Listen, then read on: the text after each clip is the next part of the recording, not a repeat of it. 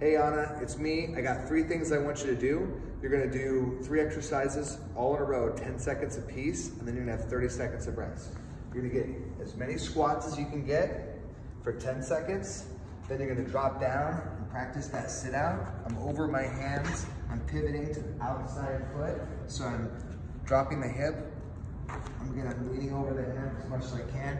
I'm gonna do 10 seconds of the sit out, and then I'm gonna lie down, and then I'm gonna do 10 seconds of the swimmer. And once I've done all of those for 10 seconds, I'm gonna take a 30 second break, and I'm gonna go through that five times to get warmed up. And your actual workout is gonna be anywhere between 10 and 20 minutes of training. But those three drills are getting upper and lower body and core all at the same time. It's a little bit of conditioning, a little bit of strength training. It'll make you, it'll be challenging. It'll make you feel really good. So 30 seconds of work, three different exercises, 30 seconds of rest.